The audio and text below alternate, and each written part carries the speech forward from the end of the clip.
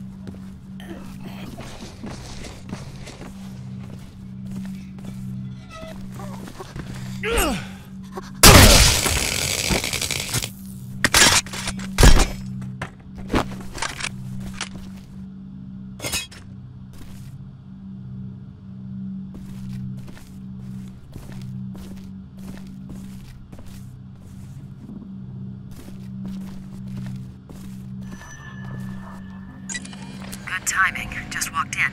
Start sending data when ready.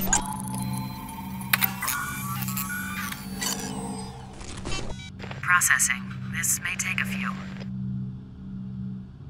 Human tissue. Color, adipose deposits, and adjacent facial hair stubble indicate that these are human lips and facial skin. Also, I've run the faculty list. The gym teacher at your location during Carl Anderson's tenure was a man by the name of Samuel Tibbets. Before you ask, yes, Tibbets' medical records provided his blood type. It's a match with the facial tissue.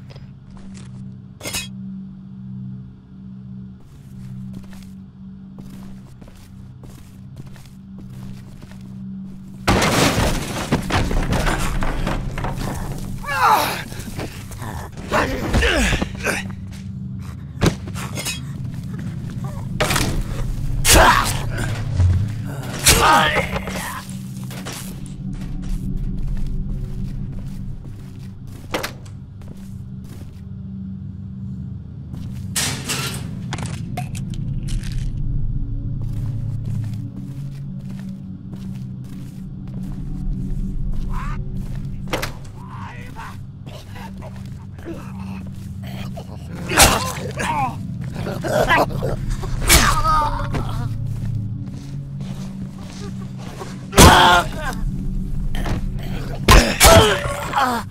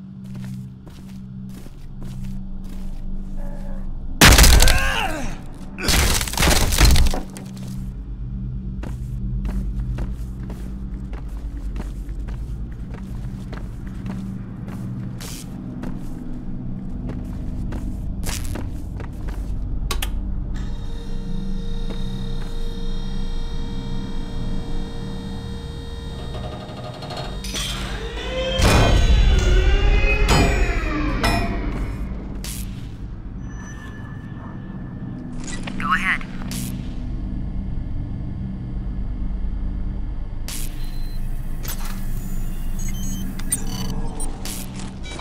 Transfer complete. It's Tibbetts. Fingerprints from his personnel file match the hand. It looks like the torturer got to him before we did.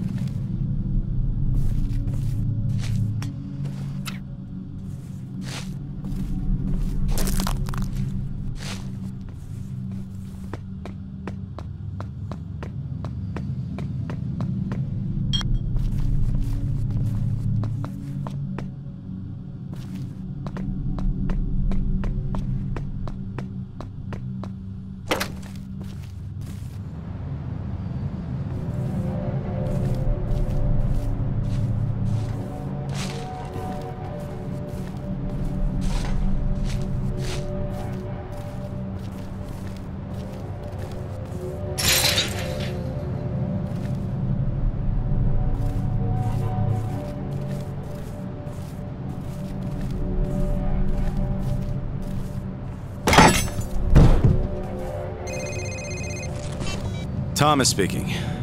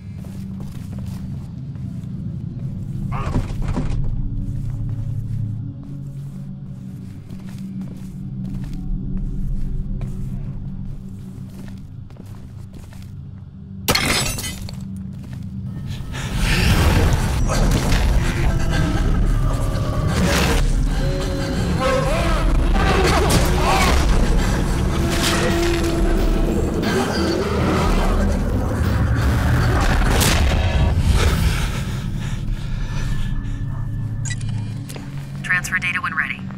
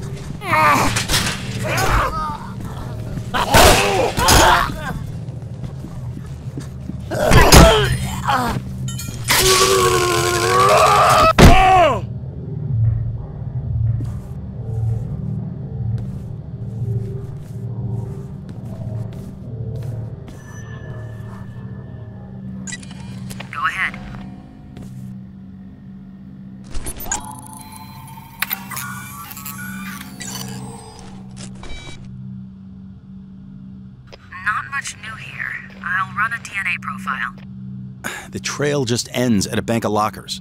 Thomas, have you looked inside?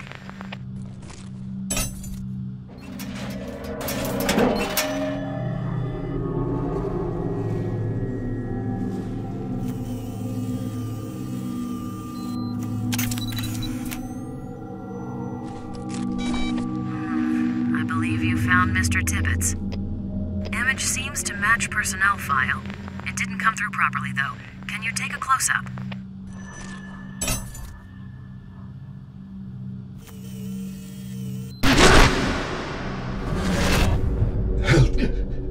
Help me. Help is on the way. Who did this to you? Carl Anderson. The torturer. Okay, take it easy. Do you know where he is now? Other man. King. Took Carl away. Left me here to die.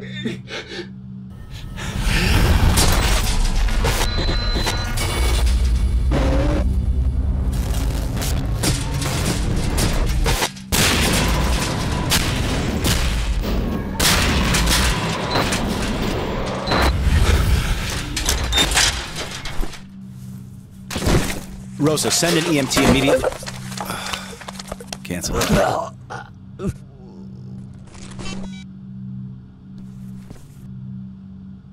Two points of note. DNA taken from the hair matches current profile we've established for the guy who's been stalking you, the guy we're calling Serial Killer X. Also, there are some additional organophosphate particles present. Similar to the pesticide we found on the matchmaker's neck? An exact match. I've been running an analysis on those samples. It's azinphos methyl and is class 1, highly toxic. Was previously used as an insecticide for all sorts of agricultural crops, now banned for domestic use, and can only be used commercially by permission. This particular formulation includes some other trace chemicals and can be matched to a brand name called Applewell. I've put in a contact to the company to see if we can get a purchaser's list. Applewell. Apples. Yes, as I said, it was used on all sorts of agricultural crops. Apples would be one of those. Yeah, the town of Briar's pretty rural. Any chances there's an apple orchard up there? I'll get right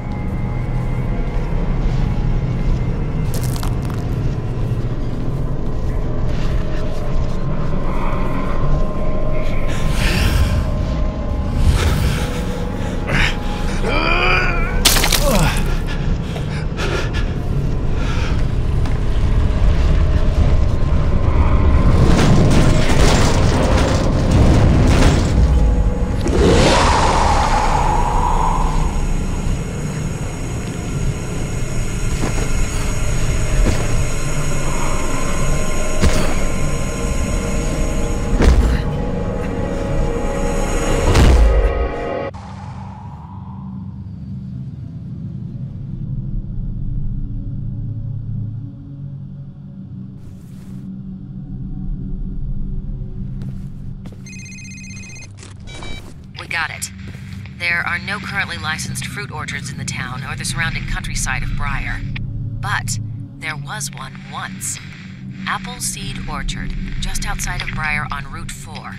In business for 40 years, but closed its doors just 10 years ago after a tremendous outbreak of apple maggots. The orchard never recovered. Curious, though. County deeds show it's owned by an out of state real estate